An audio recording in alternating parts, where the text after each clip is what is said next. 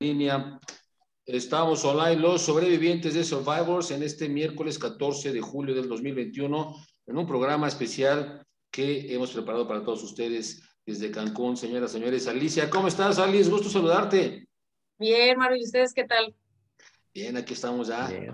Gustosos de que estés con nosotros. Muchas gracias por volver a aceptar esta, esta reunión, esta plática, charla, charla entre, entre amigos y bueno, con toda la gente que te sigue y por supuesto también la gente que nos sigue a nosotros, con esos temas tan importantes. Déjame saludar rápido a mi compañero, señor Leo Delarte. ¿Cómo estás, Leo? Contento, feliz de tener a Alicia nuevamente aquí con nosotros con estos temas que a mí en lo particular me fascinan. Qué, qué bueno que estás acá, qué bueno que aceptaste mi que Alicia y que nos vas a compartir más de ese conocimiento que tú manejas y que la gente también ha estado preguntando por ti, ¿no? Que cuando te invitamos, que por favor, que y bueno, pues adelante, hay que decirle y pues ya, miren, ya se cumplió, ya está aquí y gracias, gracias Alicia, mi querido Marito, muchas gracias. No, gracias a ustedes por darme la oportunidad también de compartir esta información, sobre todo en, eh, pues digamos que de una manera un poco más abierta, ¿no? Porque es como muy común estar haciendo este tipo de charlas con gente que ya sabe de este tema y ahí pues es como remover el atole innecesariamente cuando realmente hay gente que no tiene eh, pues ningún conocimiento de esto y es a donde tiene que llegar la información, ¿no? Claro, creo yo. Exactamente.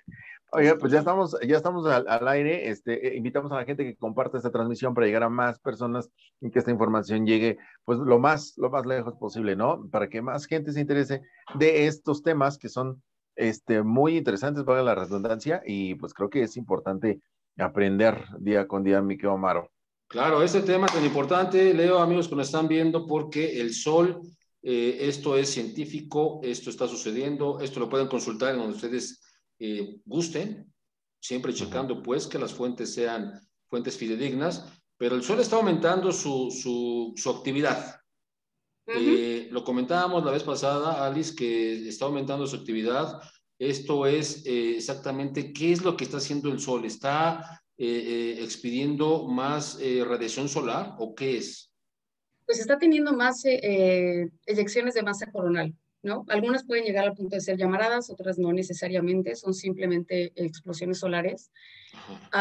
y lo que está sucediendo es que está habiendo un aumento eh, pues inexplicable, porque ni siquiera, eh, ahora sí que las personas que se dedican a, estudiar el comportamiento del Sol están eh, pudiendo explicar qué es lo que está sucediendo, ¿no? Pero bueno, a final de cuentas está teniendo un aumento de actividad al vemos las personas que nos dedicamos a, esta otra parte, ¿no? Que es la parte que va de la mano de lo espiritual, por decirlo así. Y es que no es que sea una situación espiritual que esté, eh, estemos provocando nosotros. Lo que pasa es que hay una, una especie de correlación entre ambas cosas, ¿no? Porque a final de cuentas lo que está sucediendo con el aumento de la actividad solar es que nos estamos acercando más a la energía en forma de onda y no de partícula porque a final de cuentas, pues todo este tema está relacionado específicamente con, con energía, frecuencia y vibración. Y, este, y entonces, bueno, se tiene conocimiento, eh, digamos que se, se, han llevado estudios, eh, hasta ahorita se han estudiado 25 ciclos solares, que cada uno dura más o menos 11 años, y de alguna manera, pues es como han, han ido monitoreando el comportamiento del Sol, ¿no? Nada más que en este último año, el aumento de la actividad solar, específicamente a partir del 22 de mayo, porque lo regular es que el, en, ciertos, en ciertos momentos, digamos, de su ciclo de 11 años, el Sol tenga cierta cantidad de eyecciones de masa coronal o cierta cantidad de este, llamaradas solares, o el, el hoyo, el, perdón, el, ¿cómo se llama? Este, el agujero, ¿no? El agujero. Tiene agujeros que a final de cuentas es falta de energía radiante.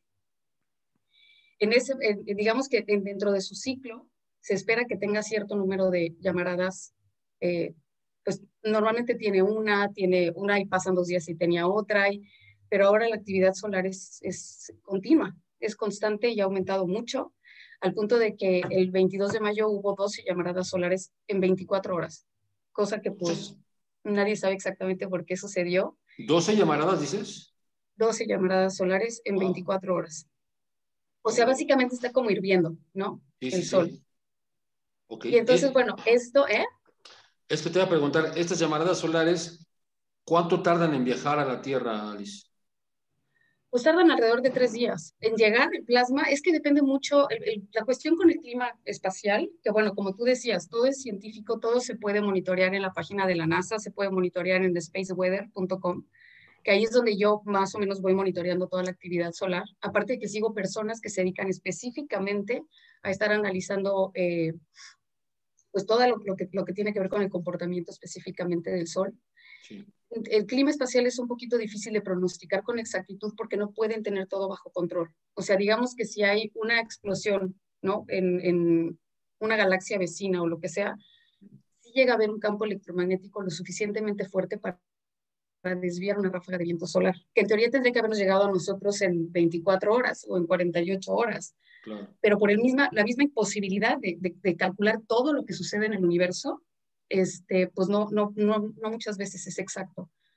Hay un pronóstico, ¿no? De que puede llegar el viento solar o de que puede, casi por lo regular se cumple, pero a veces se retrasa porque eh, algún otro campo electromagnético, perdón, interactuó con él y entonces lo empujó como si fuera nuestro clima igual. Claro. Pero a nivel, pues, no, como decimos acá en la península, ¿no? O sea, de, mucho más eh, inmenso.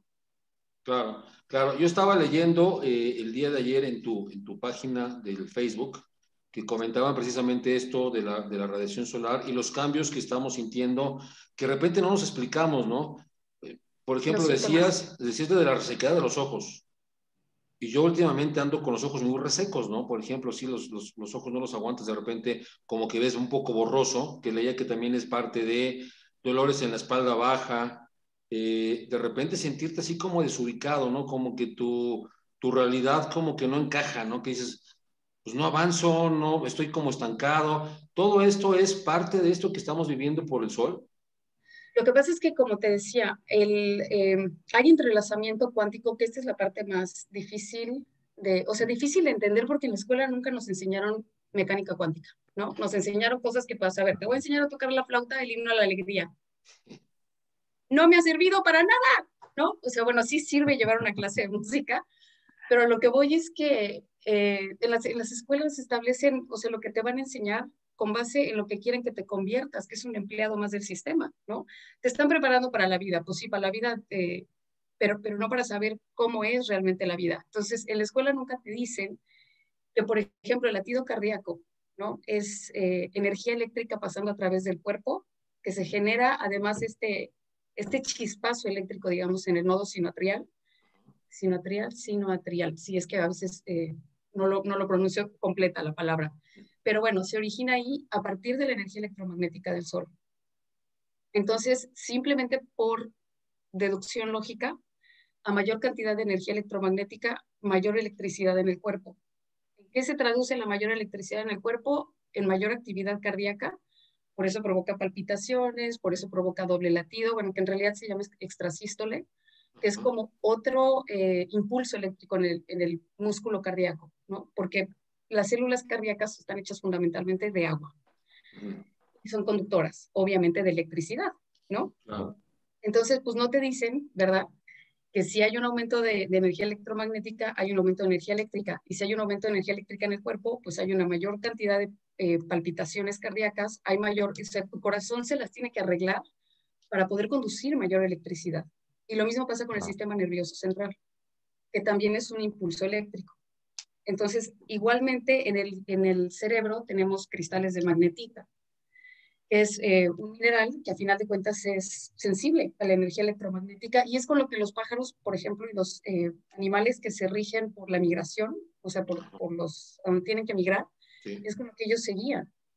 Nosotros también tenemos esos cristales de magnetita en el cerebro. Entonces también somos sensibles a la energía electromagnética del Sol, aparte de que, bueno, tampoco te dicen que el Sol es básicamente el que regula todos nuestros ejes, o sea, nuestro eje hormonal completo lo regula el Sol, básicamente. Ok. Con los ciclos circadianos. Entonces, no, te iba a comentar esto precisamente porque así como dice Maro, tú lanzaste una pregunta en tu face que decía, ¿ya lo sintieron? ¿O ya lo están sintiendo? Esto hablando precisamente del tema del cambio, ¿no? De todo esto que del efecto en el cual nosotros estamos, en el efecto de, energía. Yo te comentaba, eh, en esta semana salí a caminar, tuve una caminata de 5 kilómetros, me estaba desmayando, Alicia, y cosa que a mí no me pasa, o sea, de verdad, te lo juro. O sea, yo puedo caminar mucho, sí, sin, sin bronca, y ya. Y de repente en esta semana, casualmente, sí he sentido como que se, se me mueve el piso, como que de repente me siento o, con mucha energía o a veces me dan bajones. Son cosas que esto va en correlación con lo que tú me estás mencionando, ¿no? Esto va en, en, forma, este, para que la gente vaya, pues también, ¿no? Los que están entrando, que son bienvenidos, muchísimas gracias. Va en correlación con lo que tú nos estás mencionando, con el tema de, del sol, del movimiento, del acercamiento y demás. Algo que de verdad muchos luego no nos lo explicamos, muchos luego no sabemos si está pasando porque estoy mal de salud, y eso es algo que a veces no es cierto, ¿no? Eso es algo, es algo que no es cierto. Bueno, también evidentemente hay que, eh, hay que tomar en cuenta que estamos viviendo también circunstancias extraordinarias, ¿no? Y todos estamos sometidos a una cantidad de estrés impresionante. Entonces, yo también soy de la idea de primero descartar, ¿no? Primero descartar porque si tienes palpitaciones, y te sientes que te mareas, y sientes que vas a perder el conocimiento, lo primero que tienes que hacer es ir a urgencias.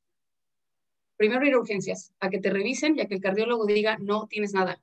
Cuando ya se acabaron las opciones, cuando ya te revisó el gastroenterólogo, el cardiólogo, el neurólogo, el neumólogo, o sea, cuando ya te hicieron una revisión médica y no tienes nada, entonces sí ya te puedes confiar que todo tiene que ver con energía. Porque al final de cuentas sigue habiendo agentes patógenos, o sea, seguimos enfermándonos sigue habiendo la posibilidad de que una persona, eh, no sé, una en 100 mil o en una en, mil o dos mil tenga un ataque cardíaco.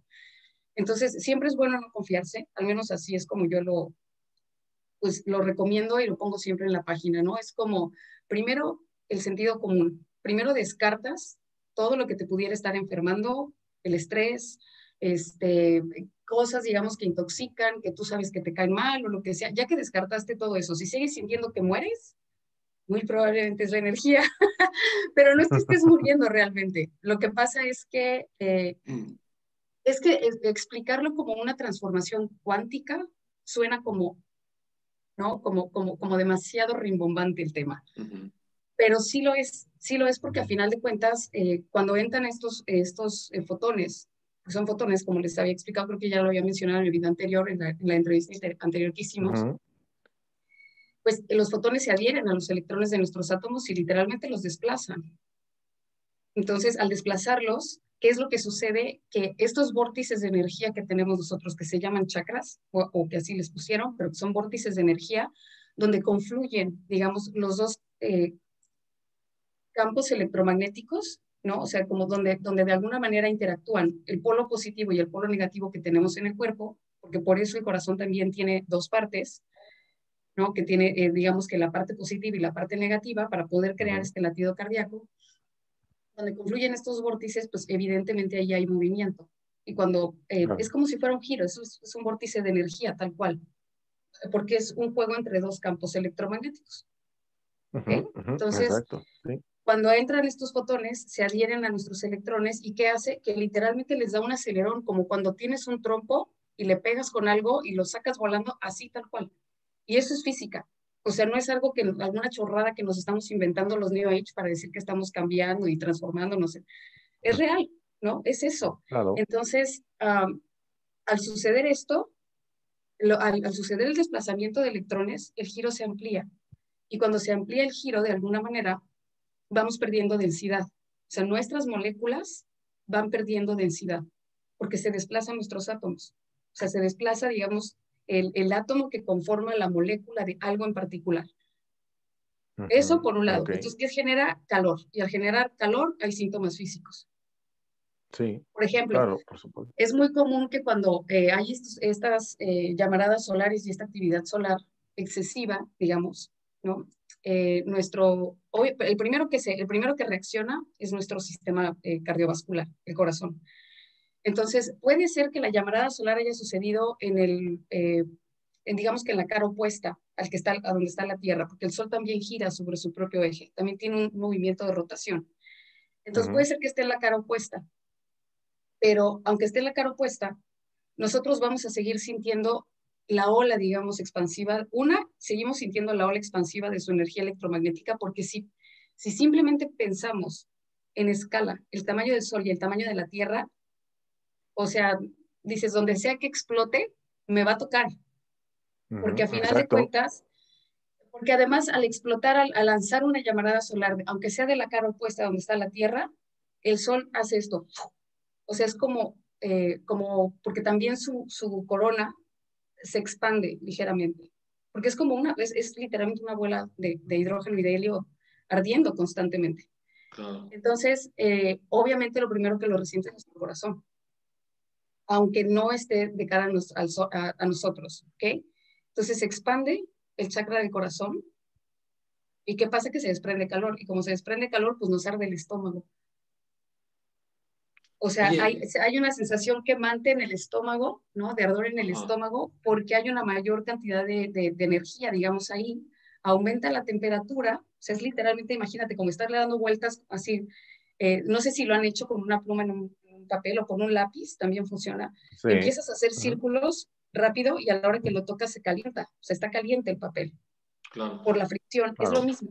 Alicia, hablabas, hablabas eh, la otra vez y, lo vi igual yo en tu página de, Facebook, eh, de los síntomas.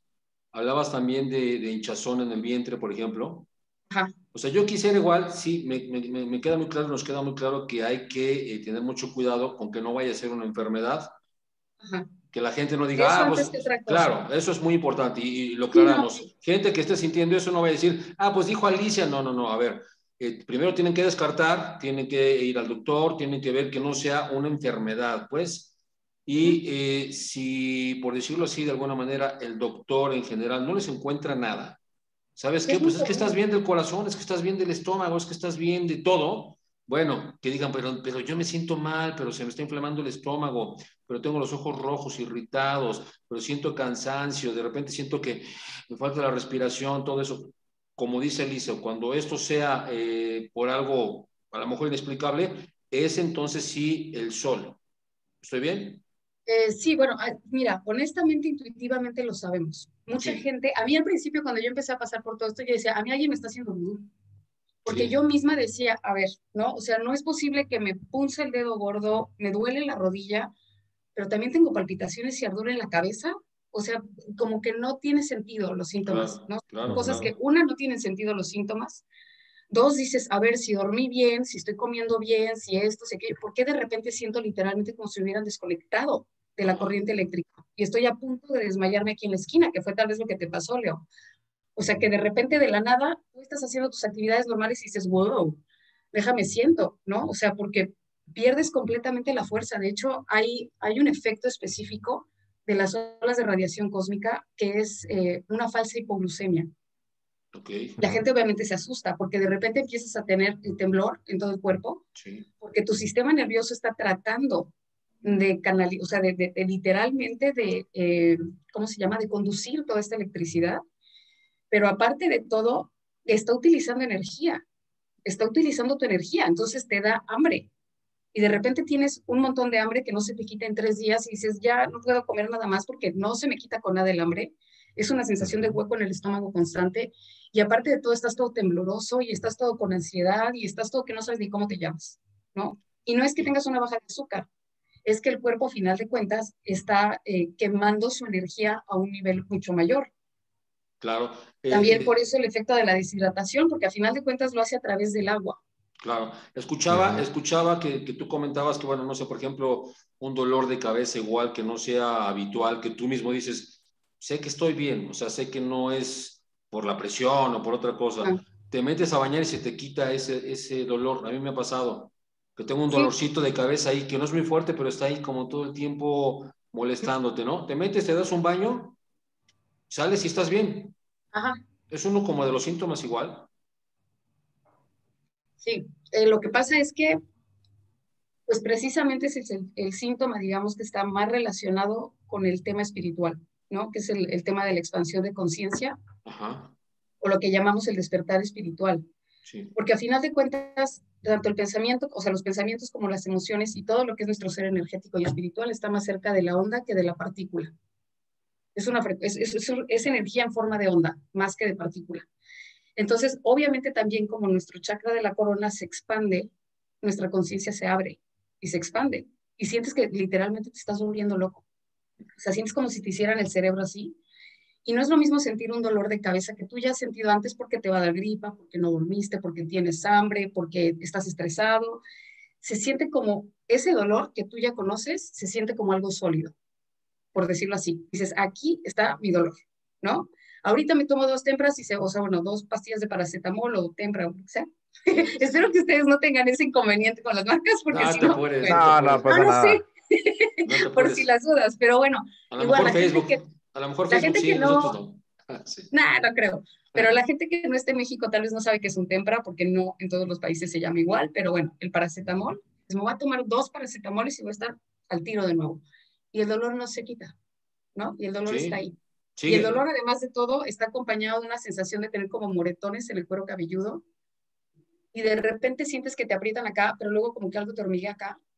Y luego como que una gotita se te escurre, ¿no? Y se te empieza a ir para atrás. Y dices, ¿qué está pasando? Porque no es, eh, no es algo que esté dentro, es algo que está llegando de afuera. La energía cuando llega, los fotones cuando llegan, no solo se llegan a sentir, o sea, los sientes en el sentido de que sientes que, que te hacen así, ¿no? O sientes eh, que alguien te está literalmente jalando de la mullera. O sea, una Ajá. presión aquí nada más, que dices, "Es- esto no es un dolor de cabeza. Eh, también lo puedes sentir en el cuerpo, puedes sentir eh, eh, como escalofríos parciales, que a veces dices, ya fui, esto es una enfermedad mortal, ¿no? Y terminal relacionada con el sistema nervioso y me voy a paralizar en pedazos, me van a caer las manos, porque te imaginas lo peor, como nunca lo has sentido. Sí, exacto. Y luego dices, y aparte de todo, sueño con invasiones alienígenas, ¿no? que eso es como, es parte, es parte del proceso y es muy divertido porque, porque la gente de alguna manera sueña estas cosas y entonces sienten que se están drogando con algo, que el mercurio de las amalgamas de las muelas, los que en algún momento nacieron por ahí de los 80 y nos tocó que nos pusieran amalgamas en las, en las muelas. Entonces es como, me está intoxicando eso, ¿no? O me está intoxicando, empiezas a encontrar respuestas a partir de lo que tu mente racional te dice que puede ser. Pero como nunca te dijeron que la frecuencia también se siente y que tienes un campo electromagnético que es sensible a la frecuencia, pues es lo último que piensas, ¿no? Dices, más bien ya me voy a morir. O sea, ya mejor de una vez voy aquí anotando a quién le voy a dejar mis tres tic- triques que Mi tengo herencia. y ya está. Sí, algo así. Entonces, sí es complicado de entender por eso, porque eh, pues es un proceso en general que te pone a prueba, ¿no? Que pone a prueba tu capacidad para creer en lo que no ves, que es la frecuencia, pero que es a final de cuentas lo que compone el 80% del universo. O sea, Claro. nosotros creemos que lo que realmente existe es el mundo material tridimensional que vemos, pero eso no es más que el Ujú. 30% de lo que en realidad existe. El 20 o el Ujú. 30%.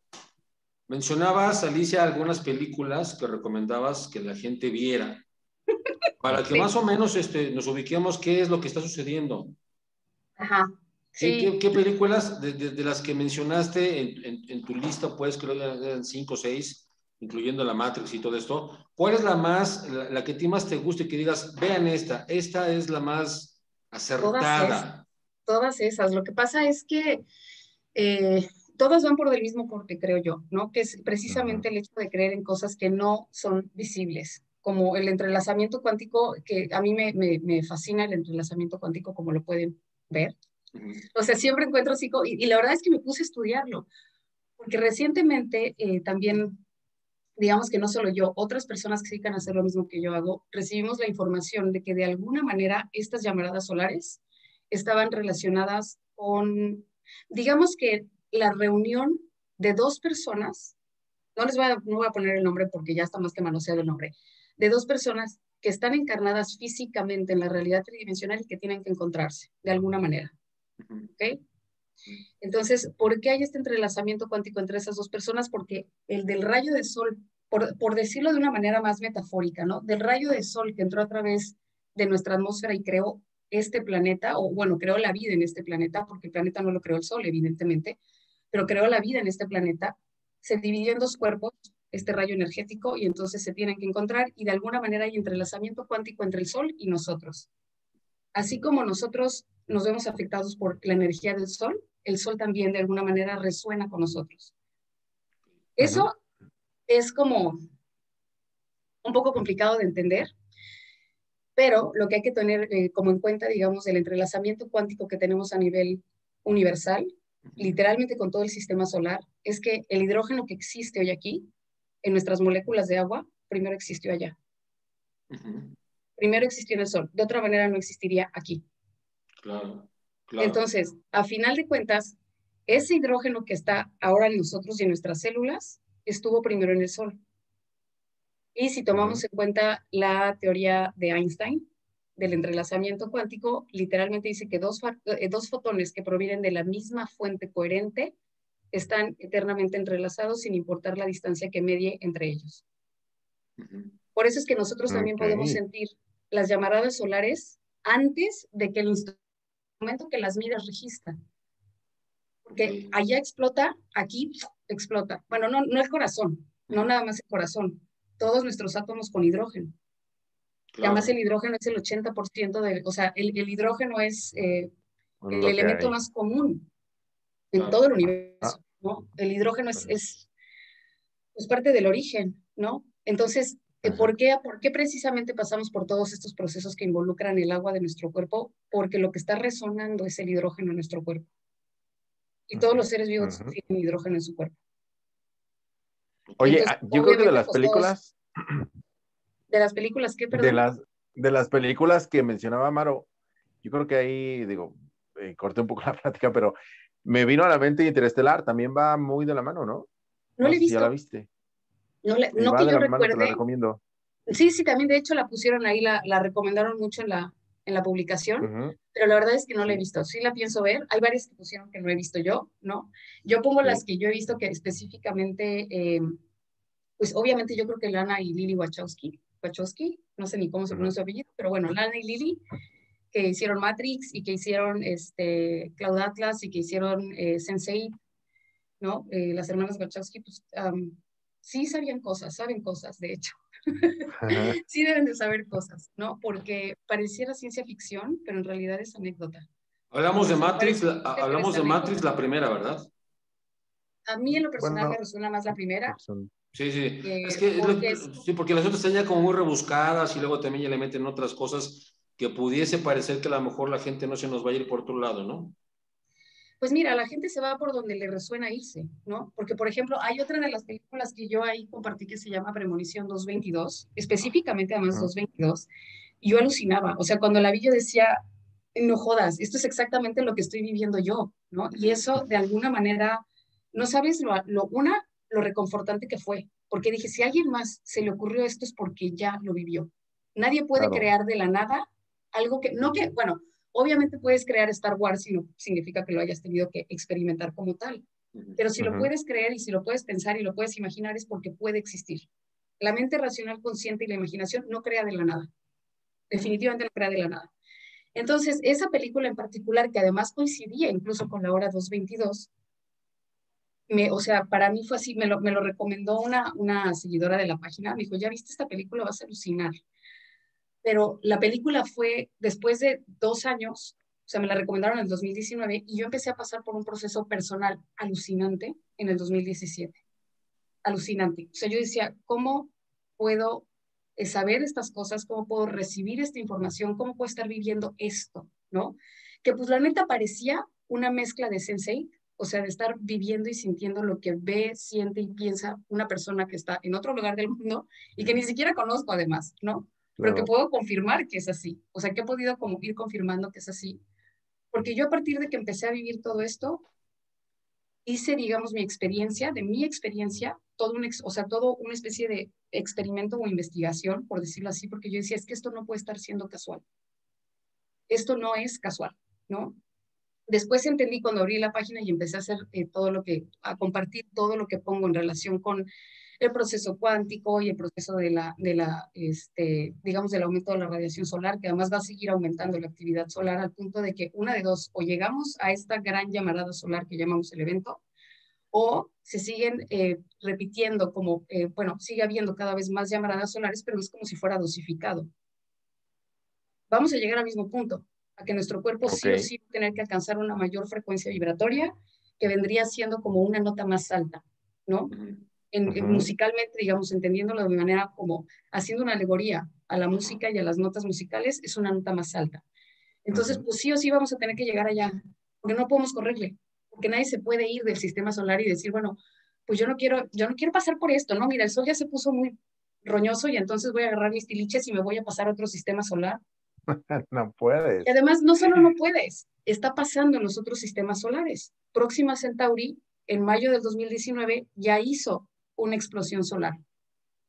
Entonces, como dicen, si ves, como dicen esto de que si ves las, las, las barbas de tu vecino cortar o no sé qué, pon las tuyas a remojar. a remojar. Eh, yo, yo, yo leía una, una teoría de, de, de, eso que estás comentando, que todos los soles del universo están conectados igual. ¿eh? Todo es, es, que todo está conectado porque solo hay, una, solo hay una única fuente de energía. Hay una única fuente de energía. No sabemos cuál es el papá sol de todos los demás soles. Porque no lo hemos encontrado, porque tal vez ni siquiera existe porque precisamente tal vez esta red de todas estas estrellas conectadas es realmente ese único sol, es ese, ese único todo. Como, como quiera que sea, o sea, sí, evidentemente todos están conectados, todas las estrellas están conectadas porque todos nosotros estamos también conectados. Y como dice una de las leyes del equivalión, ¿no? Como es afuera es, es adentro y como es arriba es abajo. Claro. Este evento del que comentas, Alicia, va a llegar eh, finalmente, como es tú, es inexorable, va a suceder. Eh, ¿Tenemos más o menos una idea de cuándo pueda suceder? Ay, no, quisiéramos. Eso es lo que quisiéramos. Pueden ser muchos años, pueden ser siglos.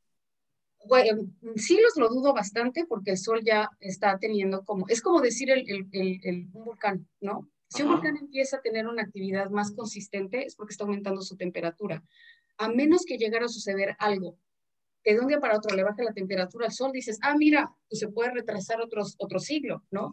Evidentemente estamos hablando de dimensiones que no alcanzamos ni siquiera a imaginármelo. O sea, nosotros tenemos una idea, pero no puedes decir, este carnal va a ser explosión dentro de dos semanas. No lo puedes saber. Porque igual puede hacer explosión dentro de dos horas o puede hacer explosión dentro de 200 años. Claro. Pero el efecto que nosotros sentimos es real. O sea, el aumento en nuestro eh, sistema físico, biológico, eh, digamos, de conciencia también es real. Ahora, ahí, ahí, quiero llegar a la conciencia y tenemos que tocar un poquito el aspecto espiritual. Cuando, cuando llegue el evento y cuando estemos todos en ese evento y hayamos cambiado nuestra frecuencia interna junto con el sol, ¿cómo vamos a ser los seres humanos a nivel conciencia? ¿Tenemos una idea? Que si yo tuviera esa respuesta, yo ya estaría, pero mira, soleándome el ombligo, pues no es No, pero digo, es, es, es, un tipo de superación. Hipotéticamente. Hipotéticamente es, superación. Eh, es, estar, es vivir más cerca de la onda que de la partícula. Entonces, de alguna manera, es que es, como es una cuestión física, básicamente, porque además incluye demasiados procesos, eh, pues también astrofísicos y astronómicos y demás, que eh, van, van, van como poniendo su granito de arena, ¿no? Por ejemplo, este, este mareo que siente la gente de repente cuando hay un pico en la resonancia Schumann. ¿Por qué, es, porque ahora somos más sensibles y por qué lo sentimos más? Pues porque básicamente nos gusta o no, le hemos ido sacando el relleno al núcleo de la Tierra durante años, desde que, desde que empezamos a utilizar petróleo. Entonces, ¿qué pasa? Que se vuelve más hueco el centro de la Tierra. Al volverse más hueco el centro de la Tierra, hay mayor resonancia, porque es como un instrumento musical. ¿No? Como cuando tú hablas por teléfono o hablas con alguien en un cuarto que está completamente vacío de muebles, el eco es mucho mayor. Entonces, ¿qué pasa? Que la corteza terrestre tiene una mayor vibración y de repente estás, este, no sé, comiendo chayotes y sientes que te vibran las plantas de los pies y dices, ay, mamá, ¿no? O te da un ataque de ansiedad de la nada, porque es nuestro sistema de alerta de córrele porque puede que tiemble mañana. Entonces, eh, la cuestión es que ya me fui para otro lado porque siempre me voy para otro lado, pero no, pero está bien, está bien. De la conciencia y del tema espiritual. Nuestro foco va a dejar de ser el, en lo material, el mundo material. Ya no vamos a estar interesados, y si te fijas, las generaciones están cambiando mucho. Ya no están interesados en acaudalar cosas, en tener tres casas, en tener diez coches. Ellos quieren viajar. Ellos quieren conocer, ellos quieren expandirse, ¿no? O sea, ya no quieren como, pues, que bueno, las circunstancias eh, tridimensionales pues están haciendo la parte que les corresponde para que todo el mundo como vuelva a repensarse las cosas mucho, ¿no? Pero como ya no nos va a importar tanto el mundo material, porque vamos a poner nuestros valores en algo mucho más espiritual, por decirlo así, que a final de cuentas todos somos seres espirituales. La realidad es que el sistema nos obligó a simplemente, aquí este es tu foco. La taza que tocas, ¿no? El carro que compras, este es tu foco, porque de otra manera no te puedo explotar. Claro. Entonces es nada más regresar el foco a cuestiones que son más, eh, que son, digamos, más satisfactorias para el espíritu y no para, o sea, no estar como, eh, porque además vamos a recuperar también capacidades que de hecho ya lo estamos haciendo, ¿no? Ya, ya es común, al menos pues para mí, para mucha gente que tengo cerca, que de repente dices, ah, fulanito me mandó un mensaje y entonces agarras tu teléfono y, ah, pues sí, ahí está el, mensaje de la persona. Pero como ya se volvió cotidiano, ya no nos asombra. O sea, ya no es como que, oye, estaba pensando en ti, me llamaste, ahora es como, ah, fulanita quiere que le mande un mensaje, ahora que necesita, ¿no? Porque ya es lo normal. Claro. Exacto. ¿Por qué? Porque somos más compatibles con la frecuencia de la onda, o sea, con la energía en forma de frecuencia y no de partícula. Como si nos estuviéramos evaporando, no más que elegantemente, así. Okay. Estamos evaporando, básicamente. Ok, ok. Eso no, no suena muy, alentador que digamos, mi querido Leo. Oye. no, pero está padre, o sea, oye, es que, es que esto que acaba de mencionar, bueno, tú acabas de mencionar y preguntarle precisamente a Alicia que cuándo iba a terminar, bueno, lo del sol, cuándo iba a ser el tema del sol. Pero yo me acuerdo que desde que era pequeño hablaban de 5 mil millones de años en que la estrella solar, el sistema solar iba, iba a terminar, o sea, pues explotando, ¿no? Su ciclo de vida iba a terminar. Y, y, y, pues la verdad no creo que, que alcancemos ese, ese tiempo, ¿no? Ni, ni miles de generaciones más. Pero yo creo... Pero espérame tantito, Leo, es que ahí voy a hacer un, un, comentario que, que puede que suene extraño y que suene, digo, no sé si poco alentador o no, es que tú dices, ah, sí, dicen que en 5 millones de años sí no lo vamos a alcanzar a ver, pero tú cómo sabes si no eres ese día anterior a los 5 millones de años. Exactamente. O sea, tú no sabes si este es el día anterior, ¿no? Porque no, o sea, porque al final de cuentas no tenemos realmente un día firmado como tal. No se puede. ojalá, lo tuviéramos, honestamente, ojalá lo tuviéramos. Claro, claro. Pero, pues, no, y también, y, es que ver la, la, situación así también desde una perspectiva un poquito más em, irremediable, porque básicamente si el sol explota, pues adiós todos compañeros, porque no hay para dónde Claro, claro. Sí, no, no, no te puedes ir para ningún lado. Es como, a veces me dicen eh, las personas, sobre todo que, que, son parte de la comunidad Carta Astral, que me dicen, oye, es que quiero saber qué piensas sobre esto. Y entonces me aviento unos textos a veces que dices, o sea, ¿no? Con una cuestión eh, catastrófica, apocalíptica, es, así de, terror literalmente, de terror. Que siempre les contesto lo mismo. A ver, ¿te puedes cambiar de sistema solar? No, suponga, supongamos que ese es, el, ese, es, ese es el panorama real, esto que te están diciendo en esta página, ¿no? Que, que van se va a abrir el cielo y van a, caer, van a caer pájaros y bolas de fuego y entonces se van a levantar montañas y los mares se van a verter en la tierra. o sea, una cosa así espeluznante. Dije, vamos a suponer que ese es en efecto el panorama que nos espera. Eso es lo que realmente va a suceder dentro de un año, ¿no? Este mismo día hoy, pero dentro de un año. ¿Tienes cómo irte? No, pues no. ¿Tienes un búnker? No, pues tampoco. Entonces, ¿qué te apuras? O sea, si realmente el panorama pudiera llegar a ser tan catastrófico, ¿para qué nos preocupamos? No hay para dónde correr, básicamente. No sirve de nada tener ese tipo de información, digamos, no porque, no porque yo esté diciendo que puede suceder, pues, sino porque a lo que voy es que también es como, eh, como importante utilizar el sentido común en ese sentido y no dejar que haya ciertas teorías apocalípticas, eh, cataclísmicas y terribles, ¿no? Que nos estén asustando de antemano, porque no las podemos, o sea, no, hay para dónde correr. Claro. No, en realidad no, no puedes huir, en realidad no puedes huir. Si apenas ahorita en la actualidad se están llevando viajes al espacio, ¿no? Entre comillas, ¿no? Entre que hay bases en Marte, entre que ya llegaron a la Luna.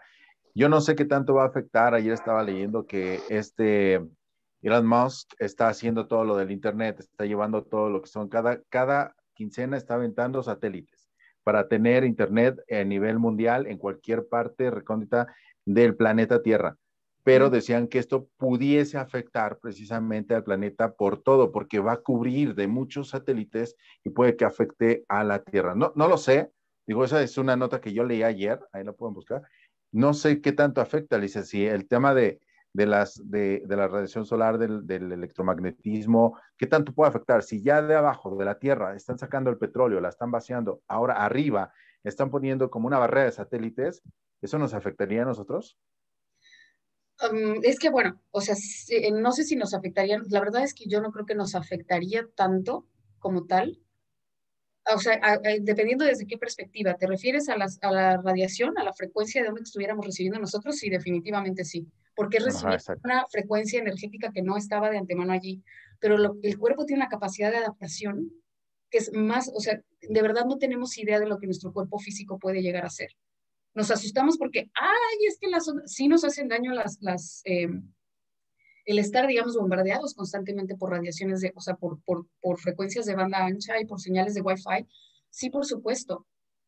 Pero el cuerpo humano tiene una capacidad de adaptación que eh, sin ningún problema lo puede resolver solito. Hay veces que no, porque hay gente que tiene específicamente una condición de salud que se llama hipersensibilidad al electromagnetismo. Y hay gente que verdaderamente se enferma debajo de una torre de, de, señal de Wi-Fi o de banda ancha. Entonces, una cosa es también, esa es, otra, que una cosa es también lo que te dicen, porque dicen que Elon Musk está haciendo todo esto para tener, ahora sí que señal de Internet de todos en todos los, eh, digamos que en todos los rincones del mundo. ¿Y quién te dice a ti que no está tratando de detener precisamente un meteorito?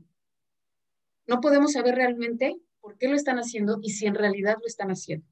Claro, sí, por supuesto. Eso fue China, China apenas lanzó eso. O sea, lanzó esa nota a China, dijo que estaba mandando cohetes para desviar un asteroide que venía a la Tierra. O sea, en esta semana Probablemente lo están haciendo. Probablemente. De hecho, yo creo que sí. Yo creo que sí, claro, depende del tamaño del asteroide, ¿no? Exacto. Depende, porque el asteroide va a crear también un campo electromagnético alrededor de sí mismo cuando, a ver, llégale, atraviesa el campo electromagnético de ese asteroide. Por eso te digo, o sea, hay, hay, un asteroide de hecho que se dirige a la Tierra y que de repente está por ahí orbitando, pero es el tamaño de un refrigerador.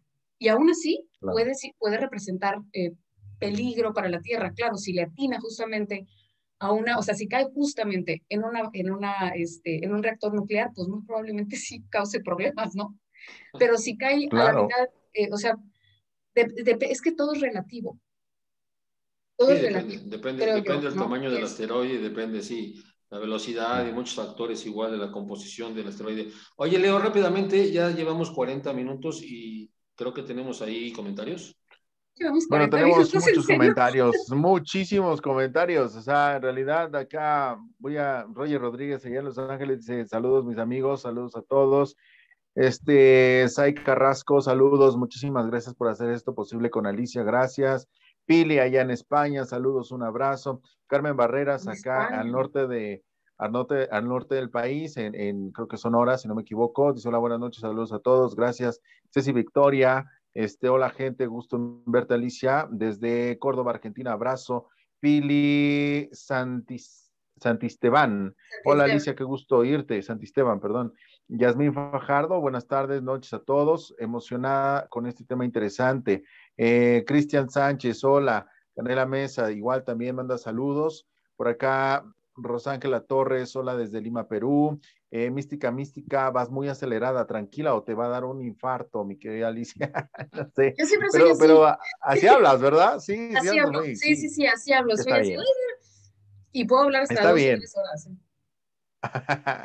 muy bien. Este, Cristian Sánchez dice, Alice, eh, yo me puse la app en el móvil y así me va avisando sobre la marcha. ¿De qué app nos está hablando? De Space Weather. De Space Weather, de la aplicación de Space Weather. Y, y, hay muchas, hay muchas otras aplicaciones que también van poniendo este, las notificaciones, ¿no? Yo la verdad es que no, las, no la tengo porque yo voy al revés. Yo primero siento y si siento algo, corroboro con Space Weather o con, pero si no lo siento es como, ah, ¿no? Hay veces que sí digo, bueno, ahí tengo que checar porque se siente algo como raro, y entonces checo y hay veces que no lo siento yo particularmente, pero sé que sí es bueno, eh, digamos, como comentar en la página que eso está sucediendo, porque no porque yo no lo sienta significa que los demás no lo pueden estar sintiendo, ¿no? Claro. Que también hay, hay, una cuestión de factor de oportunidad y para sentir las cosas que se sienten, depende mucho también el factor de oportunidad, o sea, cuál es la, la frecuencia vibratoria base de la persona para sentir o no el efecto de esto, aunque todos lo sentimos, pero unos son más conscientes que otros porque el foco de su atención está puesto en otro lugar. ¿no? O sea, por ejemplo, si tú no tienes ni idea de esto que está pasando y tú te sientes mareado, ¿qué vas a pensar? Que es el encierro, que tienes ansiedad, que estás angustiado, que tal vez comiste algo que te cayó mal, que podría ser la menopausia, que tal vez no dormí bien, que tengo un oído tapado, que encuentras otro tipo de explicaciones, ¿no? Y eso automáticamente pues evita que tú tengas una, o sea, como que, que estés en la frecuencia correcta. correcta me refiero a más compatible, no porque sea mejor, sino simplemente más compatible. Ayuda, ayuda, ayuda a saber de esto de alguna manera para estar eh, para fluir, que no te, para fluir. Para que no te asustes. Yo creo que para que la gente no se asuste, lo que pasa es que, eh, pues, no, como te digo, no estamos acostumbrados porque no nos dijeron en la escuela que hay que monitorear, que, o sea, que nuestro cuerpo físico depende de la energía solar y de cómo se comporta, ¿no? Porque además también esa es otra las circunstancias actuales del campo electromagnético de la Tierra, o sea, literalmente de la magnetosfera, no son las mismas que hace eh, cuando fue el evento Carrington, ¿no? Que fue una gran llamarada solar en 1859, me parece, o 29 por ahí. Eh, no son las mismas. Entonces, obviamente nosotros estamos siendo bombardeados constantemente con, partículas de luz a, una gran velocidad que afectan nuestro propio cuerpo físico, la composición. Hay gente que habla de ADN y la base de silicio y la base de carbón, o sea, son como, a mí se me hacen como temas un poquito más complejos, que la verdad es que yo en lo personal no me he querido meter ahí porque a mí me chifla más la física que la química, honestamente. Entonces, si voy a hablar de algo, lo documento, si no, mejor me callo, definitivamente, ¿no? Y, y si no me interesa la química, pues se me complica más, ¿verdad? Entonces, eh, sí, Sí, la verdad es que sí. Entonces, este, conviene, o sea, sirve saberlo. Una, porque cuando tienes la información correcta, no puede haber miedo, creo yo. Al menos así lo entiendo yo.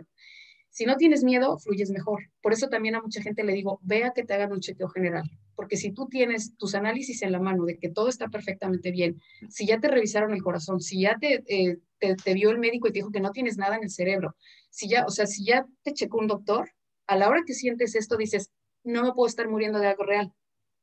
Y entonces te mantienes más presente en el proceso, ¿no? Aparte de eso, sucede una cosa que yo no sé si es mágica o no he entendido por qué sucede realmente, porque yo lo viví, cuando empecé a vivir mi propio proceso, yo lo viví.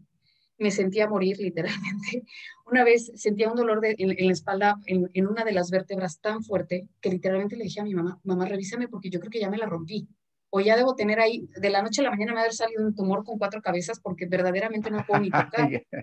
No, no, es que verdad, la mente empieza a O sea, así, así, lo dijiste, así tal cual, un tumor con cuatro cabezas, ¿de verdad? Sí.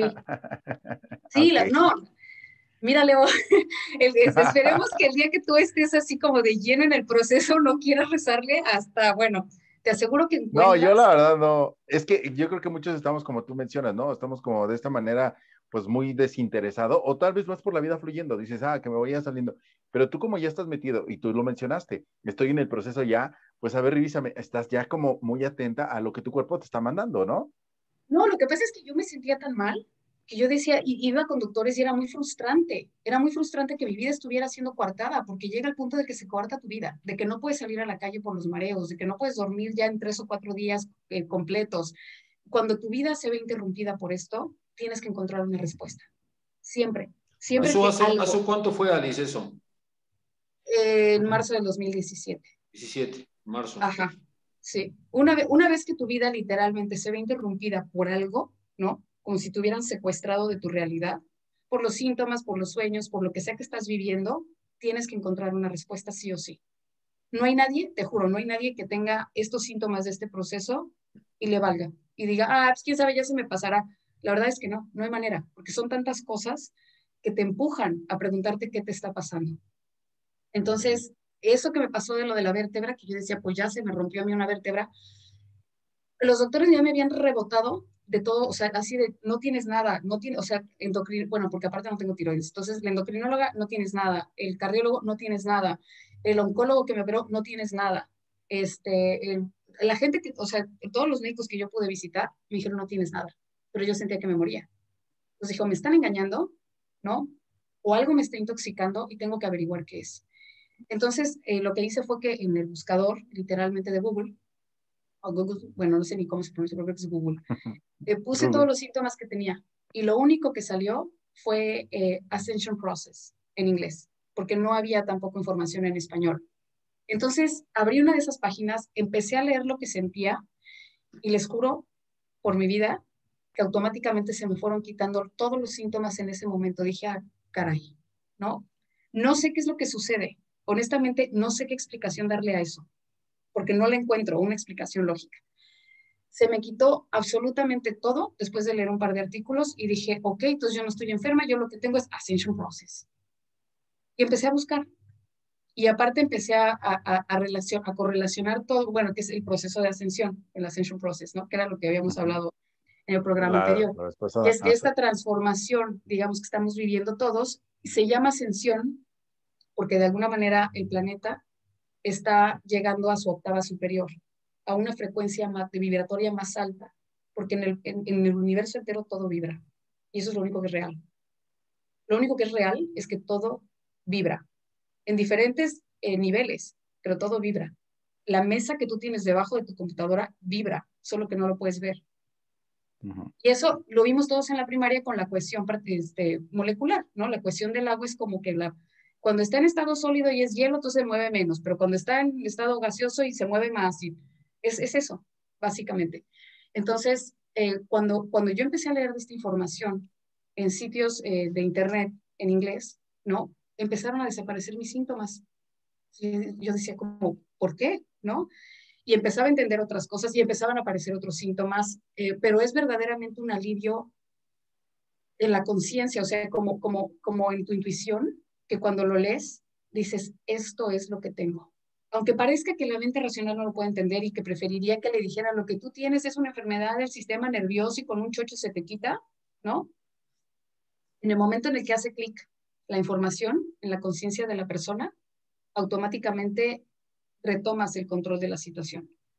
Entonces sí, puedes sentir que te mueres, puedes asustarte, puedes tener ataques de ansiedad que llegan al punto de ser ataques de pánico, puedes sentirte mareado todo el día, puedes sentir que estás en dos dimensiones a la vez, puedes, este, esto de las dos dimensiones a la vez, o de olvidas las cosas, es porque tu conciencia está procesando información en, en, un nivel de frecuencia más alto, ¿no? Que es como el, el, el silbato, digamos, de los perros. No porque nosotros no escuchemos el sonido del silbato significa que el perro no lo escucha. Ahí está la, ahí está la frecuencia. Simplemente no lo escucho yo, pero lo escucha el perro. Entonces, y eso aplica igual para la experiencia de este proceso de todo el mundo.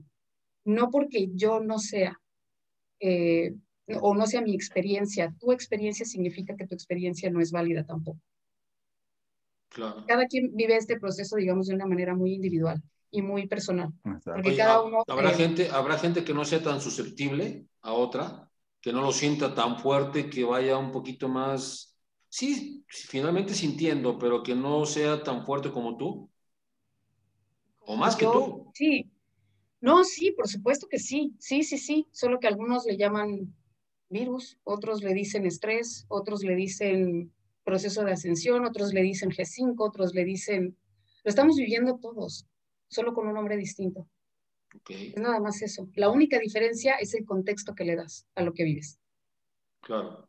Hasta ahorita no se puede morir de eso.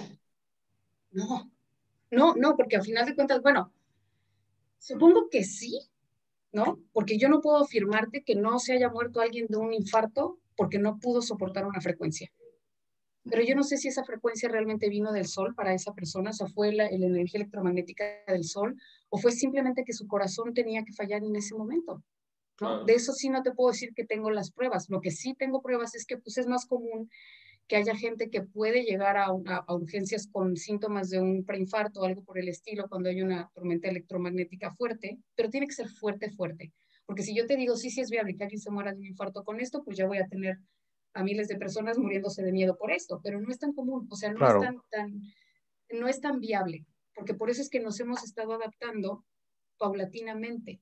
Si lo que estamos viviendo hoy en cuanto a la actividad solar, que además es un hecho, ahí está afuera, nadie se la está inventando, no es un supuesto, nadie está diciendo, ay, bueno, es que están pasando, o sea, eso es a lo que voy, ¿no? Que para mí es como muy importante transmitir también en este momento, porque sabemos que sigue de alguna manera.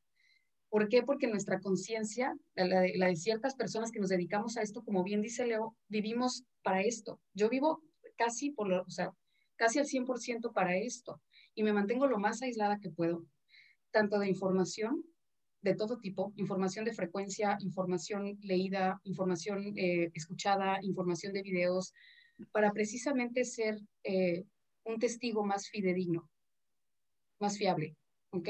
Entonces yo procuro no contaminarme con absolutamente nada, ni con las teorías del otro, ni con lo que dijo fulanito, ni con el video de Perenganito, ni con las, eh, que si los, las guerras intergalácticas seguramente son reales, pero no es lo que me toca. Claro. A mí lo que, a mí lo que me toca es ser sensor, digamos, ser, ¿no? Entonces, em, a lo que voy es que ya me perdí de nuevo, ¿ves? Porque siempre me pierdo, siempre me pierdo. Y, y la gente que, que, ve mis videos sabe que siempre me pierdo porque es demasiada información.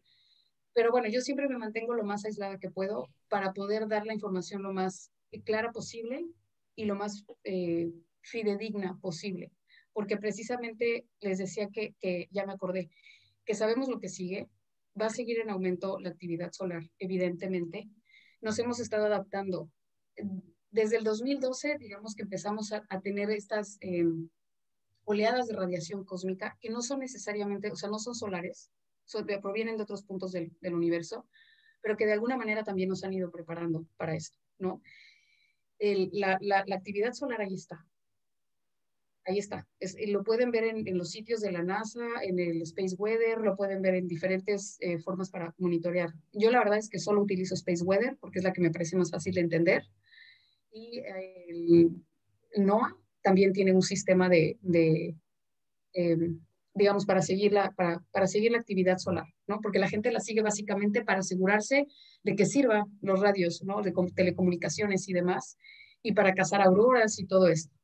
Entonces, eh, lo importante es que la gente sepa que no se va a morir, o sea, no, no vas a salir un día a la calle y va a haber una super llamarada solar y te va a dar un infarto y vas a caer fulminado, porque ha sido todo paulatino. Y hasta ahorita, lo que tenemos, eh, digamos que en el panorama inmediato, es que va a seguir siendo paulatino hasta que la gran mayoría de personas vivas puedan resistir una llamarada solar de una intensidad considerable y sigan viviendo en este planeta. O sea, no, no que, o sea, que no haga cortocircuito, digamos, tu corazón. Y la única manera de que eso, o sea, digamos que no la única manera, pero digamos que si alguien pregunta cómo le hago, ¿no? O, o cómo le puedo hacer yo para, para poder soportar esta frecuencia más alta, esta frecuencia vibratoria más alta, la respuesta es abrir el corazón. Aunque suene a cliché, barato, no, la respuesta es abrir el corazón, porque conforme vamos creando muros, digamos, personales y nos vamos como retrayendo de la gente, porque me lastimaron, porque no confío, porque el mundo me agrede, porque nuestro subconsciente no diferencia entre las agresiones reales y las agresiones eh, emocionales. Entonces, no sé, o sea, nuestra mente racional está creada, o, o, bueno, digamos que su fin es crear detonantes para que no nos pongamos en riesgo en una situación real de riesgo. O sea, para que no te cruces la calle si estás viendo que el semáforo está en verde, ¿no? Claro. A ver, inténtalo y verás qué padre se siente que un camión te pase por encima, ¿verdad que no? O que pongas la mano en el fuego y te quemes. Eso es lo que hace la mente racional consciente. El problema es que por el sistema en el que eh, nos obligaron a vivir, digamos, para poder explotar los recursos de manera injusta, ¿no? Lo que sucede es que también empezamos a crear este tipo de precauciones en contra de la gente. Entonces, como tú ya me lastimaste, me voy a retraer y me voy a retraer. ¿Y qué es lo que va pasando? Que parece mentira, pero se va retrayendo, el, el, el latido cardíaco se va retrayendo. En lugar de expandirse, se va hacia adentro. ¿Por qué? Porque me estoy protegiendo. Claro. Cuando, cuando una persona está en una situación de riesgo, independientemente de que acelere el ritmo cardíaco, lo que realmente hace es que su, se comprime, digamos, para que, no te, para que no te escuche el enemigo, para que no te sienta el enemigo. Cuando vives, eh, digamos, eh, con el corazón abierto y confiando en los demás, otra vez, aunque te hayan, aunque te hayan herido 17 veces, no importa, el corazón puede aguantar que lo hieran otras 18 más, porque esa es la realidad. Aguantamos mucho más de lo que creemos en todos los sentidos, físicamente, emocionalmente, mentalmente, aguantamos mucho más de lo que nos han hecho creer porque constantemente nos bombardean con que, ah, si te comes dos pingüinos, se te va a subir el colesterol, ¿eh? Pingüinos de pastelitos que hay en México que se llaman pingüinos, sí, sí, sí, ¿eh? no vayan a pensar que pingüinos, pingüinos. Sí, es que bueno, se me olvida que de ¿eh? repente... Ahora ya todo el mundo se come todo, o sea, uno no sabe, pero sí, pero tú estás hablando de los pastelillos.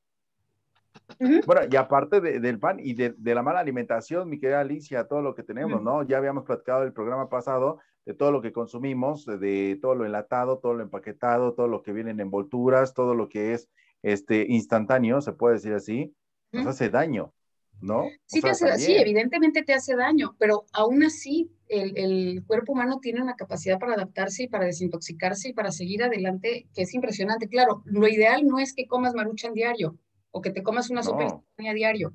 Lo ideal es que comas lo más sano y lo más balanceado y lo más libre de aditivos químicos que puedas. Pero la realidad es que no todo el mundo puede, Leo. O sea, la cuestión es que también hay que ser un poco sensatos. Yo no le puedo decir a una persona que con trabajos eh, puede alimentar a sus cinco hijos o a sus tres hijos, ¿no? ¿Por qué? Porque le pagan una miseria. Ay, dales verduras y frutas orgánicas o se van a morir. ¿En qué cabeza cabe un kilo de jitomate orgánico? Vale 80 pesos. O sea, no se puede. no, puedes, no, no tienes, o sea, es como, yo la verdad es que este, también soy muy así de, de, de, de poner este proceso, ¿no? Al alcance de todo mundo, porque en realidad así es como es. Que si puedes, si tienes la, la capacidad de la libertad, del tiempo, ¿no? Porque también es eso, el tiempo, de ponerte a meditar una hora diario, magnífico y maravilloso. Pero no porque no puedas hacerlo, porque apenas te da la vida para alcanzar a comer, sin tener que, que comer en media hora, ¿no? y atender a tus hijos y ir y venir y todo eso, no significa que no vas a poder completar este proceso. No significa que estás así, porque la gente se angustia, la gente se angustia porque es que yo no puedo comer orgánico porque fíjate que nada más tengo un McDonald's enfrente. Come, come sin culpa y come sin miedo.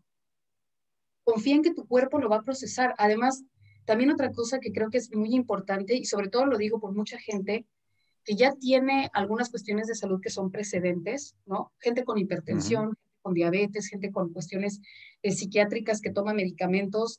No hay medicamento, no hay químico, no hay nada que detenga este proceso. Porque básicamente es un proceso que le atañe a la conciencia, porque no va a dejar de haber, eh, de alguna manera, eh, digamos, no puedes, no puedes no expandir tu conciencia, no puedes no transformarte en un ser más cercano a la onda, o sea, más espiritual, más cercano a la frecuencia de onda que a la de la partícula, te comiste tres McDonald's en la semana.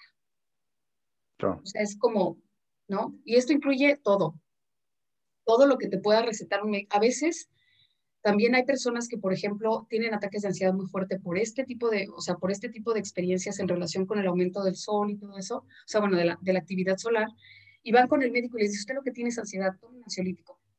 Y entonces se asustan porque dicen, es que el ansiolítico va a detener el proceso. No, todo ya está escrito, todo ya lo elegiste antes de estar aquí. Ese ansiolítico te va a ayudar a que tu sistema, a que tu sistema nervioso no haga cortocircuito. No está actuando en tu contra, actúa en realidad a tu favor. Y eso no significa que hay que correr al médico que nos llenen de chochos. No, evidentemente si tu síntoma lo puedes aguantar, si puedes aguantar tu dolor de cabeza, evita los químicos definitivamente pero el chiste es que la gente no se sienta eh, obligada a realizar ciertas prácticas para asegurarse de que sí van a trascender este proceso, o sea, de que sí lo van a lograr completar, ¿no? O sea, lo vamos a trascender sí o sí.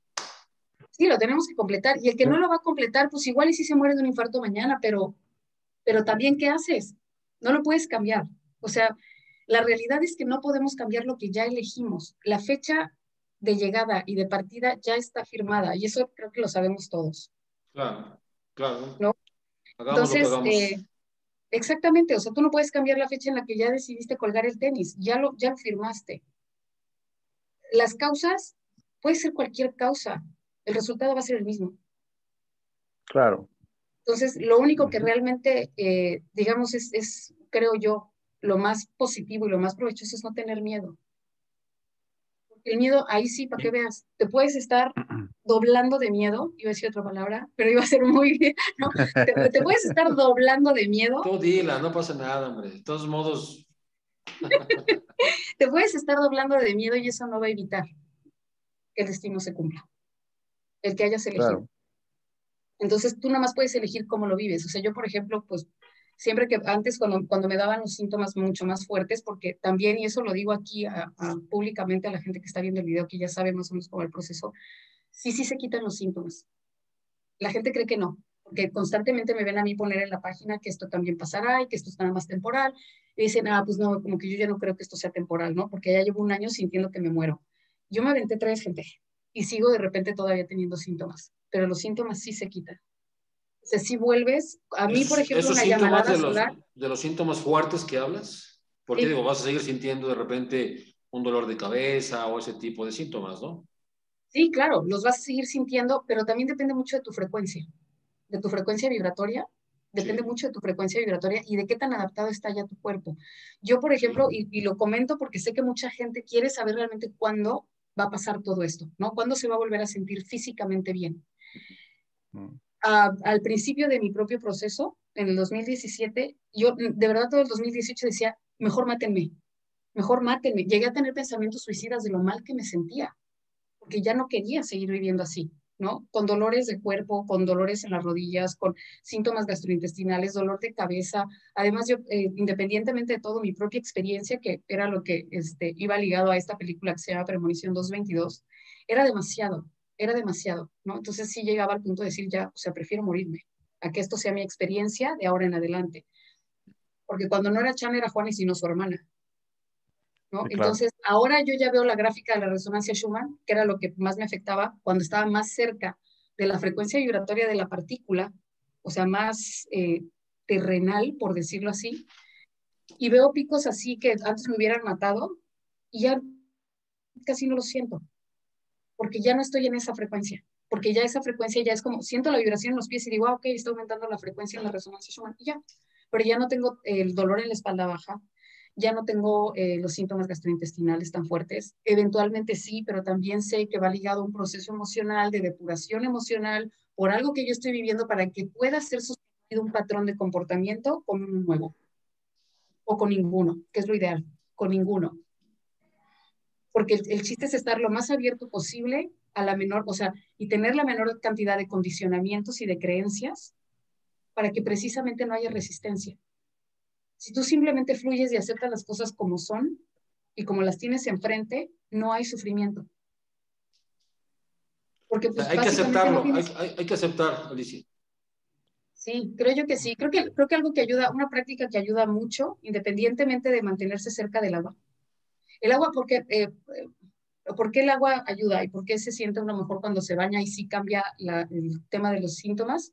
porque a final de cuentas es precisamente a través del hidrógeno que, que nos, nos, sirve como de, como, digamos, como una especie de escudo protector, es amortiguador de nuestro campo electromagnético el agua. Entonces, si te sientes muy mal, te metes debajo de la regadera de preferencia con agua fría, ¿no? No tanto eh, tan caliente, o templada, no, no, agua caliente, y automáticamente el agua crea una barrera de escudo protector, amortigua la frecuencia. No bloquea la frecuencia, como podría ser con, con el cobre, que ese sí ya son a veces yo he llegado a utilizar eh, cobre cuando verdaderamente ya no aguanto los síntomas. Entonces, eh, pues de repente me pongo un casquito de cobre, ¿no? Yo sé que... Ah, de verdad, es lo que te iba a preguntar, ¿cómo lo ocupas? ¿Es un casco tal cual? Como de motocicleta. Hasta una cazuela sirve. Hasta una cazuela. Como, también trabajo mucho tiempo en, en, en Internet, estoy constantemente recibiendo frecuencias del teléfono, de esto, de aquello, y de verdad, o sea, parece de locura, pero te pones una cazuela de cobre y automáticamente bloqueas estas frecuencias que, y descansa tu cabeza, se siente como, o sea, como si se relajara el cerebro. Porque el cerebro está, cerebro está eh, procesando información en forma de frecuencia todo el tiempo, o sea, todo el tiempo. En todo, lo que ves es una frecuencia, lo que escuchas son frecuencias. Las ondas eh, de Wi-Fi es frecuencia. Los pensamientos son frecuencias los síntomas, o sea, todo lo que sientes a nivel físico es frecuencia. El cerebro está constantemente, eh, digamos que, procesando toda esta frecuencia para ver en qué momento tiene que crear un detonante y asegurarse de que sobrevivas. Porque igual yo estoy aquí platicando con ustedes, pero probablemente mi cerebro ya eh, procesó que en la casa del vecino hubo una explosión de gas y entonces automáticamente me hace entrar en pánico para que yo pueda correr y salvarme pero procesó la explosión que hay allá, aunque no haya sucedido en mi casa. Claro, claro. Entonces, eh, pues el, el, agua a final de cuentas es eh, lo más efectivo que hay para bloquear, para, para amortiguar sobre todo la frecuencia eh, que proviene de, de, la, de, la, energía electromagnética. Y la otra también es que exponerse a ella. No, obviamente no te vas a salir tres horas al sol a chicharrarte ahí como lagartija, pues no. Pero si sales 15 minutos todos los días, te vas como aclimatando con mayor facilidad. Porque básicamente no hay para dónde hacerse. Es como decir, ah, bueno, me voy a quedar en el aire acondicionado todo el día y supongamos que está subiendo la temperatura global. que de hecho sí está sucediendo, pero bueno, está aumentando la temperatura global y entonces tarde o temprano vas a tener que salir a la calle. No es lo mismo que vayas saliendo poco a poquito, conforme cuando esté en 30, en 35, luego en 40, luego en 45, a que te quedes en tu casa y decidas un día salir cuando ya esté en 55 porque vas a caer muerto. Claro, hace sentido. Hace sentido. Hace sentido lo que estás diciendo. Es que, eh, precisamente por eso, como dices. Por eso es precisamente que no, no es tan viable que una persona pueda morir de un infarto por una, por una llamarada solar. No es tan viable. ¿Por qué? Porque llevamos todos estos años adaptándonos paulatinamente a ellas. ¿Esto desde cuándo es, Alicia? Es decir, el sol siempre ha tenido, pero, pero desde que empezó fuerte, por decirlo así. Lo más fuerte, el 22 de mayo. Este 22 de mayo que acaba de pasar. Por eso te digo que pero, es, pero desde que empezó el proceso, eh, fue cuando tú lo 2012, 2012 en teoría, desde el 2012 en teoría, desde agosto del 2012, pero la realidad es que hay mucha gente que lo ha estado sintiendo desde antes y que además ha estado recibiendo información al respecto desde antes, ¿no? Porque nuestra conciencia se expande y recibimos información. Así tú te imagines cuando despiertas o cuando regresas, regresas, digamos, una descarga de información, eh, que tal vez el arturiano te dijo, el pleyadiano te lo dijo, o el maestro eh, San Germain, o te lo dijo Metatron, quien sea que te lo diga. No importa, eso es el concepto que tú le das, ¿no? De alguna manera. La cuestión es que sí hay una inteligencia superior divina que no importa a cuál emisario te manden, ¿no? Pero te lo están mandando para que lo sepas, que de alguna manera se asegura que la vida persista. O sea, es como, eh, por ejemplo, esto que está pasando ahora con el sol. Yo hice, hice una regresión recientemente, que no fue en realidad una regresión, fue más bien como acabó siendo una canalización donde recibí información de que, eh, como les decía, la, unión de estas dos frecuencias, o sea, de estas dos personas en la realidad tridimensional que cargan una, una frecuencia particular, ¿no? Que se tienen que reencontrar o se tienen que reunir. Entonces, esto, por resonancia, se convierte en una llamarada solar. Por resonancia. Porque acá se incendia, allá también. Igual que allá se incendia y acá también, en nosotros. ¿Ok? Entonces, esta información yo cuando la recibí dije, ¡zas! O sea, ahora sí ya, pues voy a escoger ahora sí que la casa de la risa más bonita, la que tenga los jardines más grandes, ¿no? Y donde den postre para que me, que me internen allá. Y, este, y yo pensé que lo estaba recibiendo yo sola. Esto fue el 22 de abril. Porque obviamente, pues no es algo que tú vas y le cuentas a quien sea, ¿no? Dices, es que ya ahora sí ya valió, chetos esto. Pero eh, no solo empecé a encontrar gente que también recibió la misma información. El 22 de mayo, exactamente un mes después, 12 llamaradas solares. Y dije, ay, nanita, ¿no? O sea, no puede ser que yo me lo esté imaginando. ¿Tiene que ver que sea el día 22? Pues yo, yo pienso que sí, pero porque es que yo creo que los patrones se van creando. Eh, ahí, por ejemplo, esa, esa película que se llama Premonición 222 es muy interesante en ese sentido. Los patrones se van creando para que la conciencia esté atenta es como cuando mucha gente me pregunta, este, es que, ¿qué significa el número 222 o qué significa el número 333 que lo va cada rato? El número en sí no significa realmente nada. Significa, lo que, lo que realmente importa es en qué circunstancia estás viendo ese número. Porque si dices, ah, bueno, es que veo el 333 siempre cuando estoy pensando en convertirme en terapeuta holístico. Algo te está diciendo tu conciencia. Porque conforme más se expande nuestra conciencia, más habilidad tenemos para identificar patrones.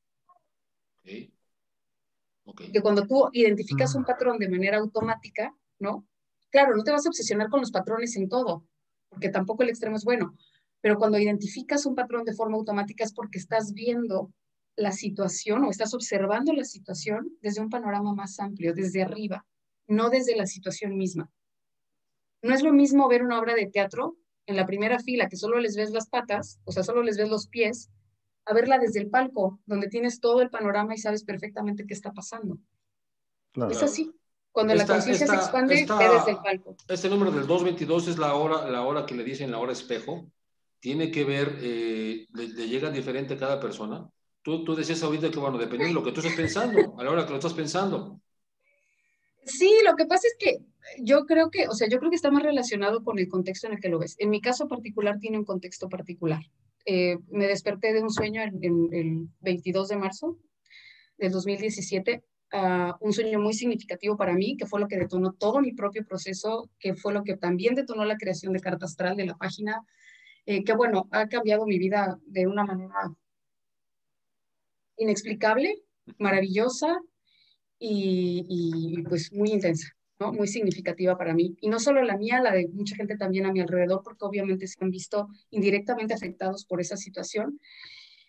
Y de alguna manera, pues lo primero que pasó fue que cuando desperté de ese sueño, de ese sueño, perdón, porque yo tenía eh, un doble latido, tenía como una especie de ataque de ansiedad, no sabía bien a bien qué había pasado en el sueño porque había sucedido algo en el sueño que me había hecho clic, ¿no?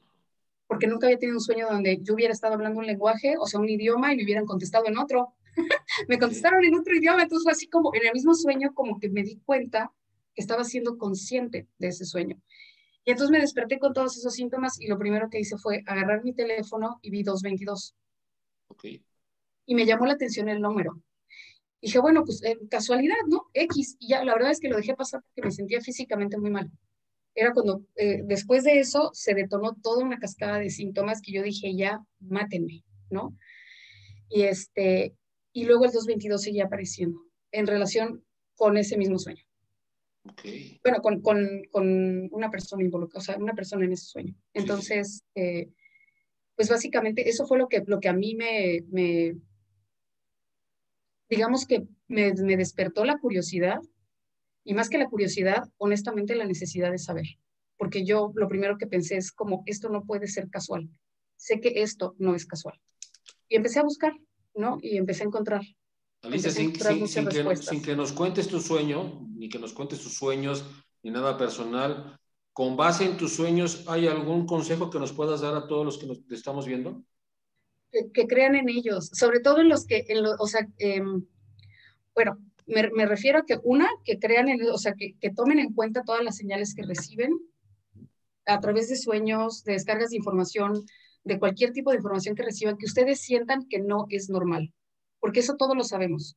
Todos sabemos, cuando una persona realmente está enferma de algo que es grave y que es terminal, lo sabe, aunque no sepa de qué. Pero es como que tu intuición te dice, esto no es normal, tengo que poner atención a esto. Ese es el primer consejo. Pongan atención a todo lo que sientan que es algo extraordinario, porque este proceso ah. en sí es extraordinario. ¿okay? No es como que hayamos vivido el aumento de la actividad solar eh, los últimos, no sé, 40 años, 50 años, o, que tengamos registro, ¿no? De que cada ciclo solar sucede lo mismo, tal cual, y 12 llamaradas solares y todo esto. Eso. Y la otra, em, pues que confíen en el proceso. Confiar en el proceso yo creo que es lo más importante, porque eso evita que tengas miedo. Más que eh, si comes comida chatarra o no, si meditas o no, si duermes o no, si tomas medicamentos o no, si, esto, si haces esto o no, lo más importante es que no tengas miedo. Porque el miedo es exactamente la frecuencia contraria, entonces menos te adaptas.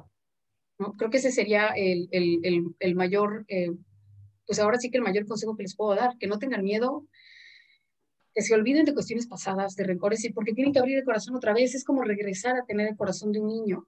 Y es súper complicado. La gente dice, sí, yo puedo perdonar, si digo 17 veces Ho'oponopono, que sirven, todas estas prácticas sirven, pero a lo que voy es que realmente tienes que vivirlo, o sea, realmente tienes que estar dispuesto a volver a confiar en la vida. Aunque tú ves las circunstancias externas y digas, se necesita, o sea, de verdad, entrenamiento Jedi para verdaderamente pensar que puedo confiar en la vida. Pero sí podemos, sí podemos seguir confiando en la vida. Todos los miedos y todos los condicionamientos y todas las eh, barreras que ponemos, ¿no? Son como detonantes que ha ido creando nuestra mente racional. Y eso es precisamente lo que hay que desarticular por completo para volver a confiar. Alicia, eh, si quieres me respondes, si no, no. ¿Crees en Dios? ¿Crees en algo superior?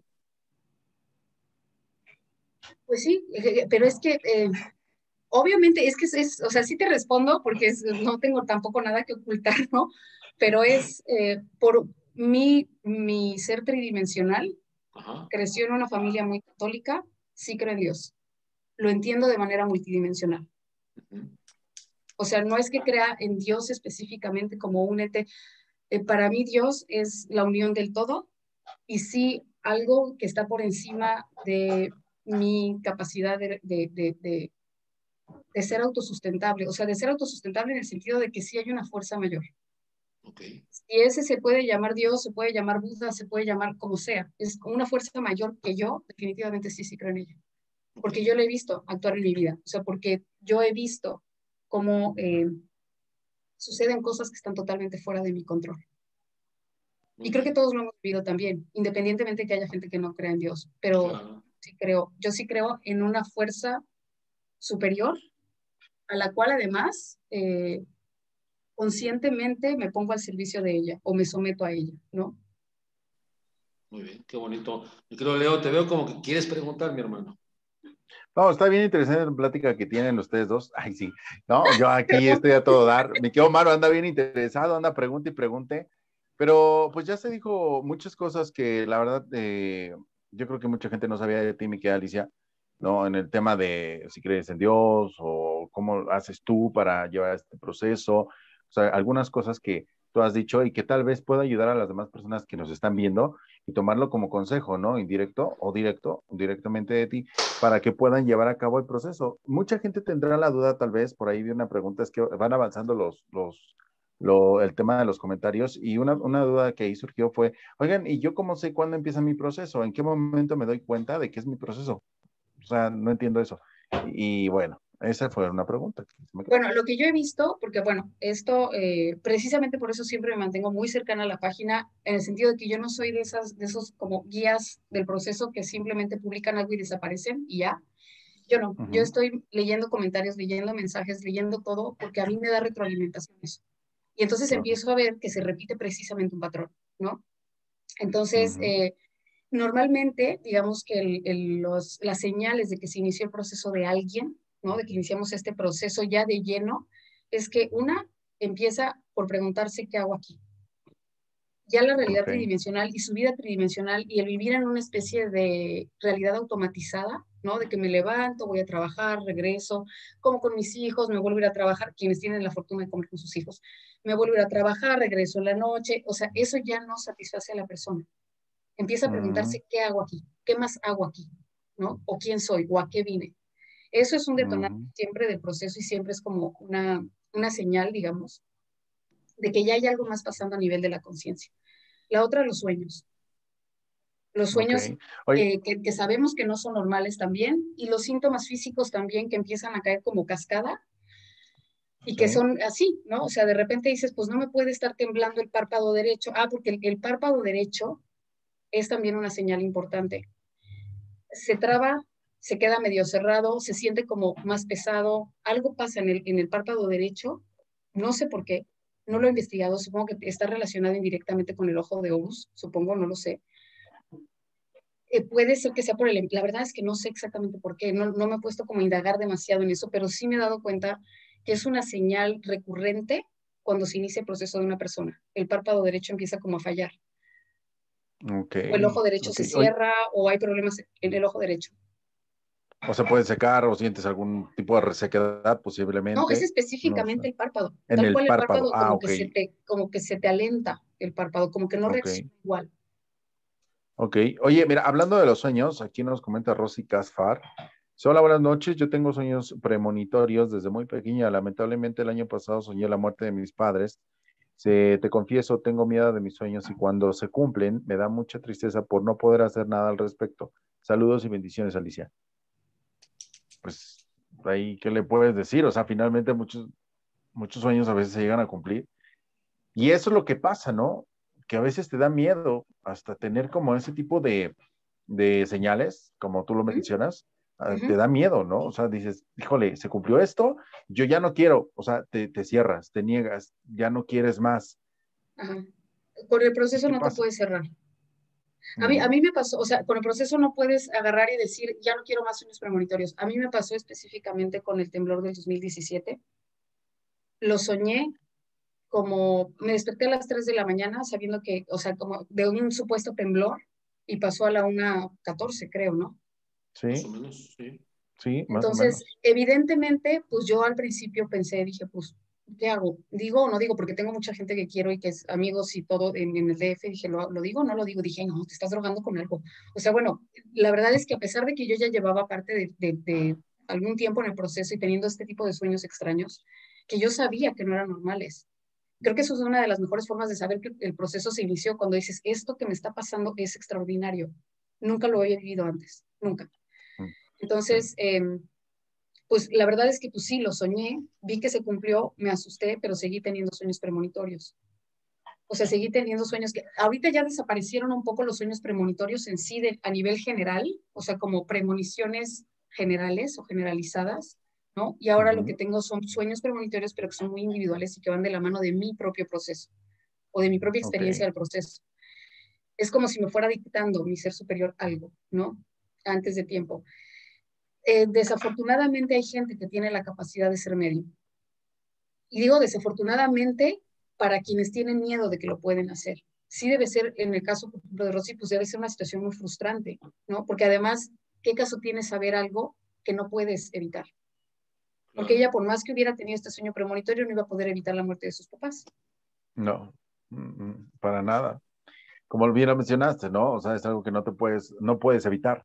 Ya está, es algo que va, que va a pasar, quieras o no, ¿no? Es algo que va a estar ahí, justamente.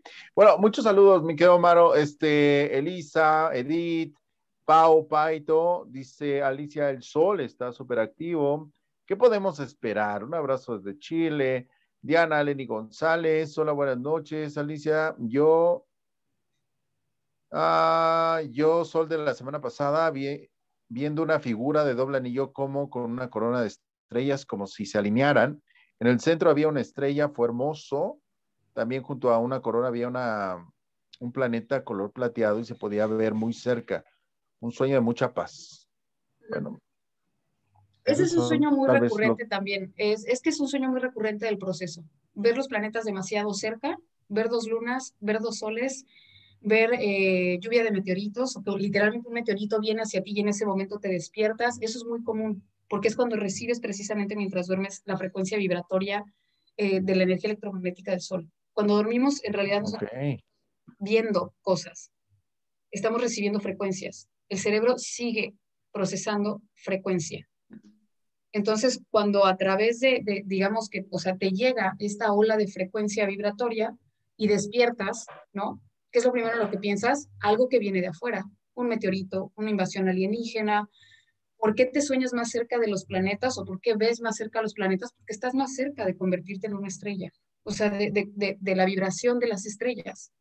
No es, o sea, digo, no es como que, ah, ya mañana vas a amanecer y vas a ser una hermosa estrella enana amarilla en tu cama brillando bien padre. Evidentemente, pues no, ¿no? El, nuestra psique funciona de una manera simbólica, siempre. Por eso es que también mucha gente empieza a tener sueños con que viene Jesucristo y les da un mensaje, o viene el Dalai Lama y les da un mensaje, o Buda está hablando con ellos en un jardín, o la Virgen de Guadalupe les dice algo. Eso es, es también algo muy característico del proceso y regularmente aparece una figura, un maestro ascendido que no te es regular o que no te es común. ¿ok? Yo que crecí en una familia católica, pues lo lógico es pensar que viene Jesucristo a decirme tal cosa. Pues no, en mi caso no fue Jesucristo, fue un monje hindú a darme información porque pues si hubiera venido Jesucristo yo hubiera dicho, ¿no? Porque es mi contexto, es lo normal. Claro. Entonces, obviamente sueñas algo que nunca has soñado en tu vida para que empieces a hacerte preguntas. Alicia, para que empieces a buscar la respuesta. ¿Los sueños de invasión alienígena son recurrentes también? Durante este proceso al principio sí, hasta que ya comprendes bien que lo que estás recibiendo son frecuencias electromagnéticas que provienen del espacio exterior. O las de radiación cósmica o, llamaradas solares o lo que sea que sea la fuente que está haciendo que entren rayos gamma, rayos X, o sea, eh, fotones, ¿no? De luz, información. A final de cuentas son fotones información. Ajá. Entonces, no, eh, tenemos conocimiento de, que sí vaya a haber, hay gente preguntando si va a haber en algún momento en esta nueva realidad del Sol cuando llegue el evento, ¿va a haber algún encuentro eh, con, con, seres de otros planetas? Ahí sí, la verdad es que no me, no me ha tocado, o sea, es que la forma en la que me ha tocado a mí la información de los seres con otros planetas o los seres que, o sea, los extraterrestres, que de alguna manera eh, pasan a través de nosotros también. O sea, es, es, frecuencia, ¿no? Es una, es una frecuencia. Entonces, lo que yo sé relacionado con extraterrestres, que bueno, mucha gente sabe, eh, de cuando he compartido mi, propia experiencia, que yo, ah, cuando empecé a tener estos sueños significativos, veía unos pelones, ¿no? Tal cual. Eran unos, eran unos entes que no eran ni niños, ni adultos, ni viejos, ni, ni hombre, ni mujer, eran, eran entes sin género, sin edad, sin nada, completamente calvos, con unos ojos azules enormes, ¿no? Y una túnica gris. Y me daban información, ¿no? Y yo la verdad es que antes de eso nunca me había sentido, lo más atraída que me había sentido un extraterrestre fue cuando vi E.T. De ahí en fuera no estaban dentro de mi contexto. Entonces, pues lo soñé, este, empecé a preguntarme cosas, ¿no? Hasta que descubrí que en efecto, ah, digamos que suena raro, hasta para mí. Tengo una especie de existencia paralela en el Sol. Hay gente que viene de otras estrellas, pero, pero yo creo que seguimos conectados de alguna manera con ellos. Entonces, realmente que veamos aterrizar una nave, honestamente ahí sí no lo sé, porque no es como yo entiendo el tema de lo que está extraterrestre, o sea, literalmente fuera de la Tierra. Sí, claro. Mi contexto... Oye, aquí... Mm. Sí, bueno, es que aquí hay una pregunta que me llamó la atención porque igual va aplicada a todo. Dice, eh, yo tomo cierto medicamento para el, tengo un zumbido en el oído, pero tengo, tomo unas pastillas. En general, ¿los medicamentos afectan el proceso de, del que estamos hablando? No, no, lo ideal es que estés lo más limpio posible, lo más, eh, pues sí, puro, puro, por decirlo así, ¿no? Que tu, que tu química corporal sea lo más puro posible, pero que lo afecten, no que incluso pueden llegar a hacernos ah, hasta de ayuda, sí. O sea, si tienes ardor de estómago porque tu chakra cardíaco se está expandiendo, pues no te aguantes el ardor de estómago. Tal vez te tomas un sobrecito de Riopan y no te va a pasar nada, ¿no? O sea, no se va a contraponer contra, con todo tu proceso. Okay, porque también el cuerpo físico, o sea, no se trata de torturarse ni, ni de martirizarse con este proceso. O sea, podemos aguantar hasta cierto punto y lo ideal es que aguantes de la forma más pura posible ¿no? Sin interferencia de medicamentos, de químicos, de lo que sea, hasta donde te dé la vida sin estresarte a ti mismo. Es como si tú le dices a una persona que si no come frutas y verduras orgánicas eh, no va a poder con este proceso, pues el simple hecho y el estrés que le estás metiendo por lo que cuesta comer frutas y verduras orgánicas ya le está causando más daño que lo que sea que puedan tener las verduras y frutas que no son orgánicas. Ok, perfecto. Al final de cuentas, lo que más importa son nuestras emociones en este proceso. Y nuestros Mantenernos bien. Lo que tú mencionabas, meditar, meditar mucho. Bueno, o tratar de meditar lo más que se pueda. Yo no, yo no medito. No, es, es, es, que es más que meditación. La meditación es una herramienta que sirve, por supuesto. Más bien es como mantener higiene en las emociones. O sea, higiene en el sentido de estar consciente de tus emociones no dejarte llevar por ellas, evidentemente, y no alimentar emociones negativas, ¿no? Es como, a ver, esta persona me está detonando algo, ya me, ya me hizo enojar la compañera de trabajo, ¿por qué me estoy enojando? Es una cuestión de autoobservación. En cuanto observas la emoción, la emoción deja de ser lo que te mueve. Entonces dices, ok, me está enojando porque me está diciendo que soy una persona egoísta. ¿Soy una persona egoísta? Ah, pues sí, sí puede que sea una persona egoísta. Bueno, ya no voy a ser tan egoísta. Y se te quita. O igual dices, no, no soy una persona egoísta y lo que realmente me está enojando es que ella tenga una idea equivocada de lo que soy yo. Pero igualmente desactivas, o sea, desactivas el detonante de seguir perpetuando esa emoción. ¿Por qué? Porque pasa que si tú, o sea, te, te, molesta la compañera de trabajo, tú le contestas desde el enojo, ¿y qué va a pasar? Que ella se enoja otra vez contigo y te grita, y entonces se establece un intercambio, pues que no ayuda a nadie a final de cuentas. Claro. Eso sí. Muy bien. Muy interesante. Alicia, llevamos hora y media. Yo creo que ya sí, ya se fue. Este, ¿Ya ves cómo el tiempo se nos va rápido? Contigo, sí. y si hablo rápido, todavía más. Sí, bueno, a mí cuando Maro, cuando Maro dijo, ya llevamos 40 minutos, yo no me había fijado en el tema del, de la hora y sí, ya llevamos 45 minutos. Se me fue volando. La verdad es que sí. Mucha información, Alicia. Manejas mucha información que sirve para toda la gente que nos está viendo y que agradecemos porque la compartes. Y es una manera muy buena en la, que, en la que la explicas, ¿no? Porque, bueno, finalmente la estamos entendiendo, la estamos recibiendo y la estamos captando. Yo me imagino así a todos los que están conectados, que los cuales están ahí agradeciendo. Y muchas gracias por compartir, gracias Alice, gracias. Estos temas son muy interesantes, qué bueno. Es que sí, es, digo, eso es lo, lo, último que agregaría, ¿no? Yo creo que lo más importante es el conocimiento, o sea, tener la información justa, necesaria, suficiente, y yo, al menos yo, lo que yo comparto en la página, todo está corroborado, fundamentado, ¿no? No hago especulaciones, no hago suposiciones, no comparto, no comparto nada eh, que no provenga de mi propia experiencia. Claro. Es como si me dicen a mí, oye, y es que fíjate que yo estoy haciendo una práctica de tal cosa y no sé si funciona o no, ¿tú qué crees? No lo sé, porque no puedo desvirtuar algo que yo no he experimentado. Entonces no, te puedo, no, tengo, no tengo una opinión al respecto, no te puedo decir si sirve o no.